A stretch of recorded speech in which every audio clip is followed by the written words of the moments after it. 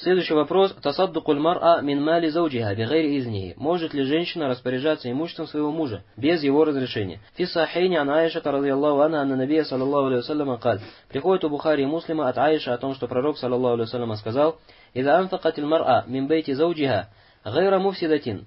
Если женщина потратит что-либо из дома своего мужа, то есть имеется в виду из имущества своего мужа, говорит гайра муфсида, то есть не нанося этим какого-то фасада, то есть какой-то порчи имуществу мужа, канна лаха аджруха бима ей будет награда за то, что она потратила, вали зауджиха аджруху бимактасаба, а муж получит награду за то, что он приобрел, то есть за то, что он это имущество заработал. Это хадис Бухари и Муслима. И по словам гайра муфсида, то есть не принося этим самым порчу имущества мужа, имеется в виду, чтобы она тратила бильмаруф, то есть касательно обычаев людей, чтобы не переходила рамки в этом, чтобы не переходила в этом рамки и тратила что-то немногочисленное, что-то небольшое, так что она знает, что ее муж не будет против относительно этого. Если же она не знает об этом или сомневается, то ей необходимо удержаться. Говорит в Сахине ан Аби Хурейра радиаллаху анху. И приходит также у Бухари Муслима со слов Абу Хурейры, «Вама анфакат мин казбихи мин гайри амрихи, фаинна нысфа аджрихи ла». Пророк, саллаллаху алейhi сказал, а то, что она потратила из заработанного им без его приказа, имеется в виду без его разрешения, фаинна нысфа аджрихи ла, то он получит половину награды за это.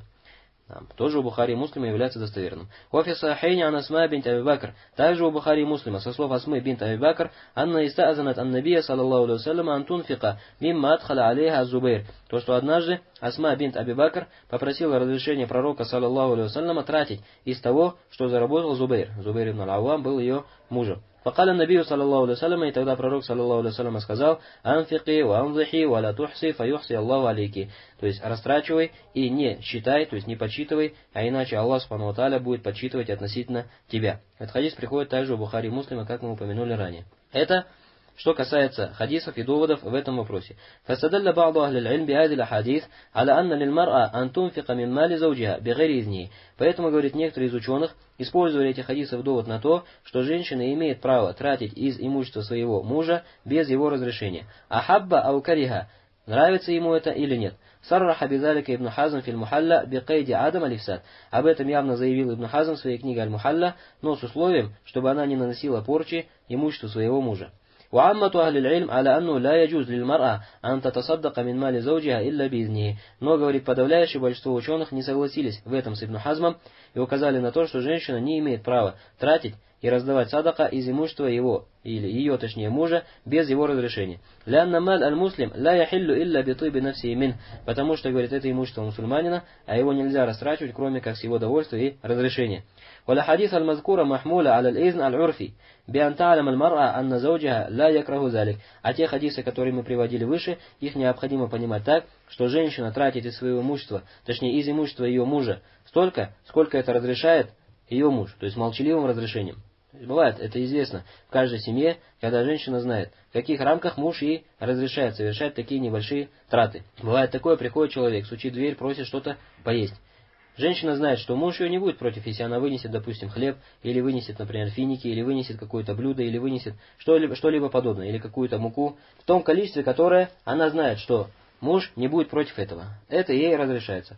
Но, как мы сказали, если она не знает, или сомневается, будет ли доволен ею муж, или тем более, если она точно знает, что муж будет этим недоволен, то в этом случае она не имеет права тратить из его имущества ни мало, ни много. И вот это вот разрешение возвращается к урфу, к обычаям людей. Вадал каулю савап Аллаху говорит, и это мнение является более правильным в этом вопросе, Аллаху. Ни одному Аллаху лучше известно. И последнее, что здесь необходимо упомянуть, то, что такое же постановление касается мужа. То есть, если мы разберем вопрос, может ли муж, соответственно, тратить что-то из имущества своей жены без ее разрешения. Говорим, что в основе не может этого делать. Почему? Потому что она также является человеком, имущество которого принадлежит ей по праву. И нельзя его растрачивать, кроме как с позволения ее души, то есть с ее разрешения. Поэтому человек не может приходить к своей жене, брать у нее что-то из ее имущества без знания ее или без ее довольства и растрачивать ее и растрачивать его на что-либо. Но опять-таки может тратить столько, сколько он знает, что жена была бы довольна этим. А иначе он должен попросить разрешения у нее. И в этом нет ничего страшного. Далее.